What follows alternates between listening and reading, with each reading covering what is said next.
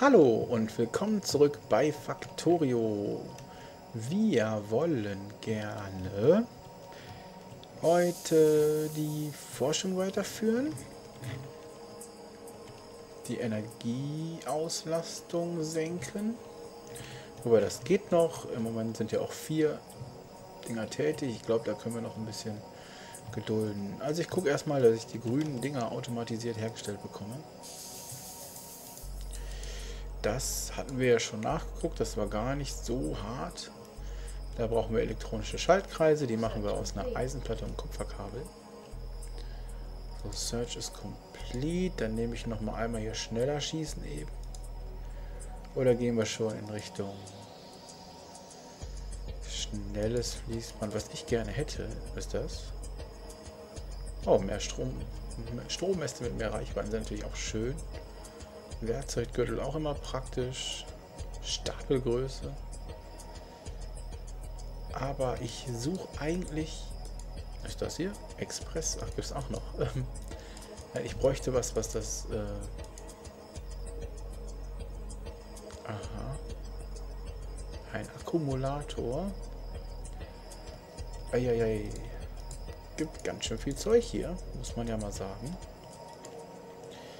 Ähm, ja, ich mache erst nochmal die, die, die Schussgeschwindigkeit und kümmere mich jetzt hier rum. Hier haben wir schon ordentlich Fließbänder angesammelt. Da stecken wir mal ein paar von ein.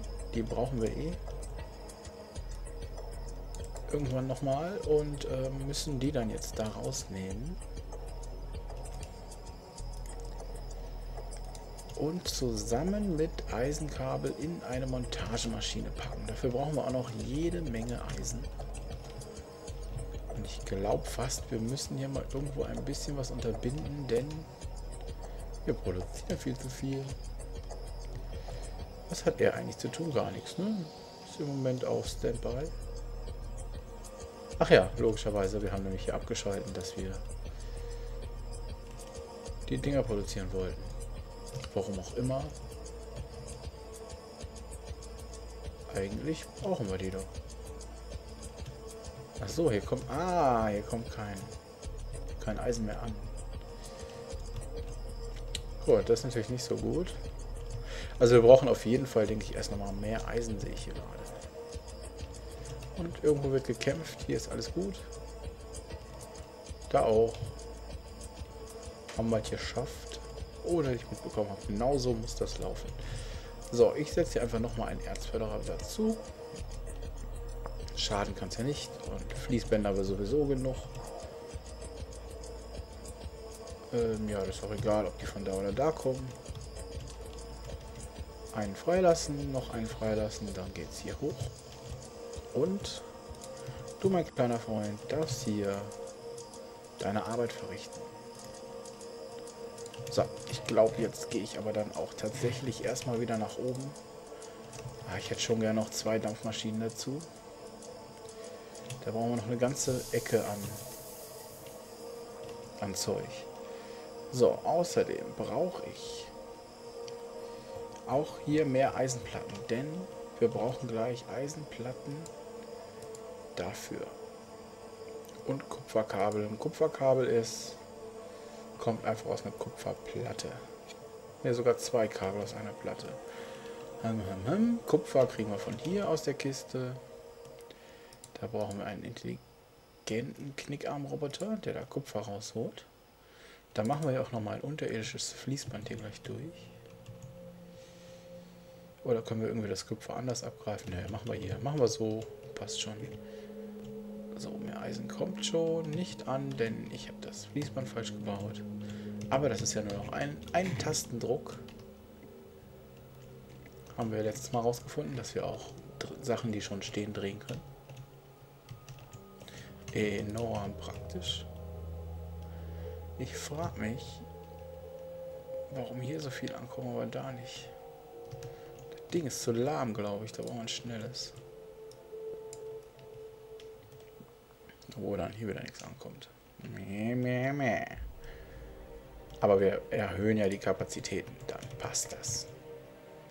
Weil der echt flott ist. Aber egal, wir brauchen auf jeden Fall auch Eisen hier. So, und da kommt neues Zeug zum Forschen. Dann schauen wir mal. Haben wir genug jetzt? Nein. Gerade wieder natürlich alles verbaut. So geht das hier. Da bleibt nichts lange liegen. Ich glaube, auch hier muss ich noch mal demnächst ein bisschen... So, ganz viel geklaut und jetzt geht es aber nach oben mit zwei davon und zwei davon. Und dann werden wir noch einen davon brauchen. Den Rest haben wir da. Damit können wir nämlich auch unseren Kohlekonsum etwas verstärken. Jetzt weiß ich noch nicht, kriege ich das genug erhitzt, damit das durch drei durchläuft. Werden wir sofort sehen. Ich setze auf jeden Fall nochmal eins dazwischen. Ach, da kann ich gar nicht durchlaufen. Da muss ich nochmal hier. Hier auch nochmal einen dran. Da müssen wir eben die Stromversorgung kappen. Das passt aber. Ich denke, das überstehen wir. So gerade eben. Ach ja, stimmt. Wir haben ja die blöden... Was hat mich dazu getrieben, hier diese Ecke reinzubauen? Also wirklich. So ein typischer... Hm, ach, egal. Ich brauche nicht nachdenken, was ich hier tue. so. Dip, dip, dip, Strom. Machen wir hier rum, so. Passt. So, jetzt brauchen wir noch das Ding hier. Ah, hier sieht man jetzt schon. Die Wassertemperatur steigt hier schon. Warum steigt die denn hier schon eins früher? Das ist so viel Auswirkung. Ah, ich glaube, die Dinger sind noch nicht mal annähernd ausgelastet hier. Aber egal. Vorsicht ist besser als Nachsicht. Die kriegen jetzt ja ordentlich auch zu tun. So, ich hätte einfach die, Tasse, äh, die, die Temperatur hier überprüfen sollen. Von nach da. Ja, ihr dürftet jetzt arbeiten, theoretisch. Ach, die haben keinen Strom. Ich bin so blind, ne? Also manchmal denke ich mir, ich sollte vielleicht nicht um 2 Uhr nachts aufnehmen. Verfügbare Leistung 100%, Hälfte ausgenutzt, perfekt haben wir einiges wieder zusammen. So, wie sieht es hier aus? Da kommen jetzt auch mal von oben ein paar Eisenplatten an. Das ist schön, das heißt, das hier passt. Ah, hier staut sich das Ganze jetzt auch. Da müssen wir eventuell doch nochmal auch hier mehr intelligente Knicker am Roboter einstellen. Oder nochmal einen... Ich weiß nicht, ich glaube, es liegt nicht an der Reinschöpfungsgeschwindigkeit. Da ist immer zwei drin. Da wäre vielleicht noch mal ein Brennofen ganz cool. Steine haben wir ja genug mitgebracht. Ähm, auch nochmal hier so. So, Brennofen, eins, einen höher. Ich bin hier nur am... Ich will immer weiterkommen, bin aber nur am Kapazitäten ausbauen. Das ist auch übrigens eine typische Krankheit in dem Spiel. Ist ja hier merkt man schnell, dass es nie groß genug sein kann. Finde ich zumindest. So richtig Unternehmergeist wird hier gefördert und wir brauchen das Kupfer hier raus. Wobei gerade auch unsere Kupferproduktion ein wenig zurückgegangen ist, weil wir alles voller Eisen gehauen haben. Müssen wir eventuell gleich nochmal. Ja, ich äh, hole jetzt erstmal das Kupfer da raus. Und zwar mit diesem intelligenten Knickern. Wobei, eigentlich könnte ich da alles rausnehmen. Und, ah nee, so einfach geht's nicht. Aber fast. Hm, ich glaube, ich habe eine andere Idee. Ich denke, ich werde die Kiste hier vielleicht ganz auflösen. Und alles in diese Kiste räumen lassen. Und da hole ich mir dann raus, weil ich brauche mit einem intelligenten Ah ne, Quatsch, komm, machen wir hier. Wir sind ja nicht so. So, da brauchen wir aber jetzt zwar keinen intelligenten, aber auf jeden Fall einen schnellen, denke ich. Der sollte die Kiste gut leer halten. Der räumt die Sachen da raus. Und zwar hier drauf. So. Dann geht es einmal unter die Erde. Und wieder raus. Ich lasse mal einen frei. Vielleicht brauchen wir den noch. Wir haben es ja. So, und jetzt brauchen wir Montagemaschinen, ein paar. Das sind auch Erzförderer.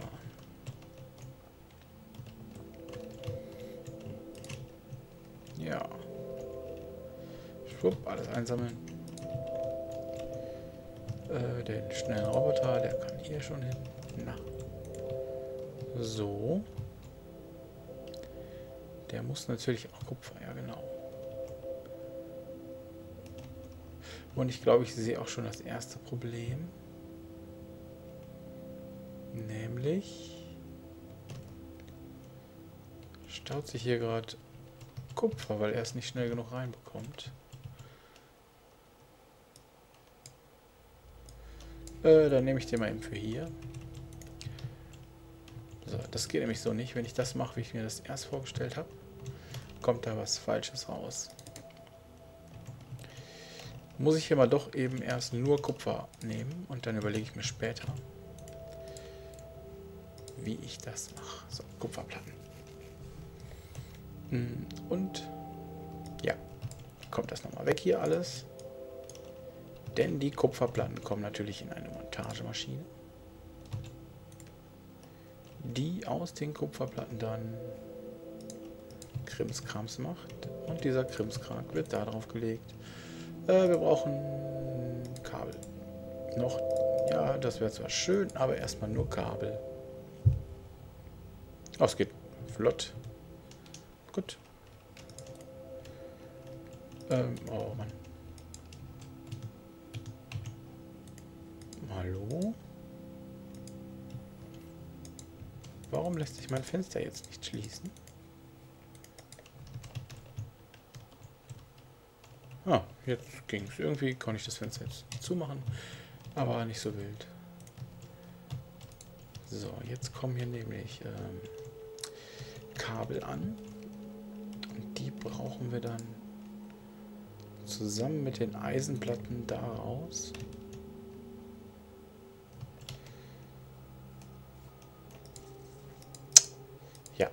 zusammen mit dem Eisenplatten. Ja, ich äh, bin gerade am Grübeln. Ist ein bisschen tricky gerade manchmal.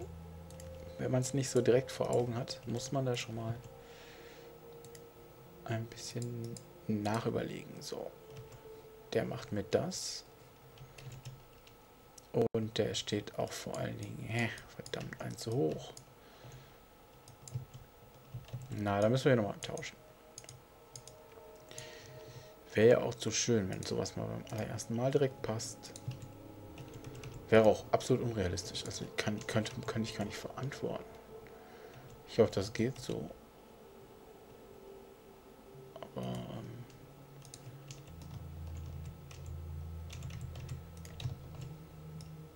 ich glaube, es geht nicht so. Verdammt. Kein Problem, wir sind da vollkommen flexibel. Kommst du einen hier nach hinten und du kommst dahin und du machst hier da dummst du und stellst mir jetzt gefälligst hier Kabel her. Es gibt Ärger, Jung. So, der ist falsch rum. So, hier kommen also jetzt unsere Kabel an. Und zwar viel mehr, als wir brauchen wahrscheinlich. Jetzt habe ich wieder keinen Roboter. Der braucht mal den. Da machen wir eh noch ein paar von. Und ich mache mal überhaupt ein paar auf Vorrat jetzt. So. Ach so, jetzt muss ich warten. Gut, äh, während wir warten, brauchen wir noch eine Montagemaschine, ja. Und dann bräuchten wir gleich auch mal Stahlträger. Da habe ich ja ich auch schon überlegen. Die müssen wir nämlich in einer Zweier-Montagemaschine bauen. Oh, wir haben ja einen Angriff. Ich gehe mal schnell gucken. Hui, ganz gut, ich gucken wir. Denn unsere Geschütztürme wurden soeben zerfetzt. Also die, die Gegner werden übrigens auch mehr. Aber dass die uns so... Hui, da hatte ich jetzt nicht mit gerechnet. Ähm, sollten wir auf jeden Fall vielleicht noch was dann ändern. Ich weiß auch schon was. Wir sind nämlich ganz fies, was Basisverteidigung angeht. Und werden gleich einfach eine Mauer direkt vor den Turm bauen, damit die da erstmal erstmal zu kämpfen haben. So, hier sind keine Eisenplatten drin. Das ist gut. Also gut im Sinne von, oh Mann, ich brauche Eisenplatten.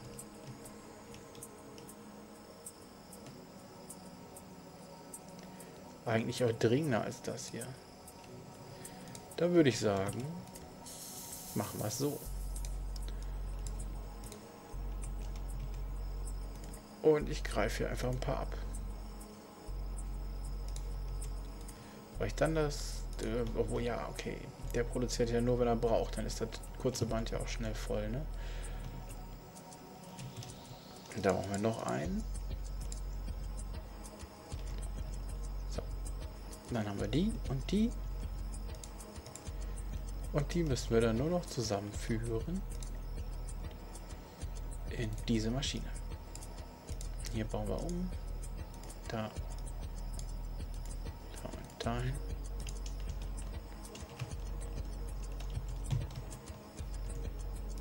Der muss das daraus holen und da muss auch was rauskommen und das Ganze lagern wir hier in einer Kiste. Nein, Quatsch, Kiste. Wer braucht den Kisten? Das Ganze muss natürlich hier ankommen. Jetzt müssen wir das noch einstellen. Und dann haben wir es auch schon geschafft. Eine automatisierte Produktion für grüne kleine Wissenschaftspakete. Einziges, einziger Nachteil ist jetzt noch, dass die hier alles verstopfen, wenn die nicht gebraucht werden. So, und es mangelt auch immer noch am Eisen, glaube ich. Oder aus irgendeinem Grund wird hier nicht weiter produziert, weil die Zahnräder fehlen, weil hier kein Eisen ankommt. Weil entweder er das abgreift und von hier oben kommt auch nichts mehr. Hm.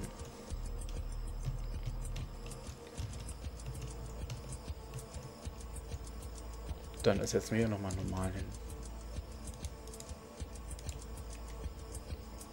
So. Ja, so, damit haben wir unsere Stromkapazitäten erweitert und produzieren Wissenschaftskits in zwei Farben. Das heißt, wenn ihr Bullet Speed, ich mache hier das nochmal eben aus. Obwohl, nee, Moment, das lösen wir eleganter. Und zwar, indem wir hier eine Kiste hinsetzen. Da stellen wir jetzt nichts dran, weil wir nämlich kein Metall mehr haben. Das ist, äh, ja, so, hier sieht man jetzt schon, ich habe mich teilweise ja schon echt eingebaut. Man manchmal schon mal überlegen, wo zum Teufel muss ich überhaupt hinlaufen. Hui, wir haben äh, ein bisschen Eisen gelagert. Ist ja ganz gut. Müssten wir da vielleicht nochmal rausholen dann. Ah, da wird eigentlich nur das von oben gelagert, ne? Egal. Äh, wo war ich stehen geblieben? Genau, eine Kiste die wir befüllen mit Restzeug und wenn wir den Restzeug verwenden können, haut er das da rein, beziehungsweise können wir es direkt auch auf die andere Seite nochmal tun. Dann bitte aus der Kiste in das Wissenschaftsselect. So müsste eigentlich äh, alles klar gehen. Gut, also, wir produzieren jetzt Wissenschaftspakete 2 automatisch und haben unsere Stromkapazität enorm erweitert, nämlich um 33 Prozent beziehungsweise um 50 Prozent zum vorherigen. Äh, unsere Verteidigung ist hin, müssen wir uns nochmal gerade darum kümmern. Ich verabschiede mich für diese Folge und sage bis zum nächsten Mal. Euer Schum...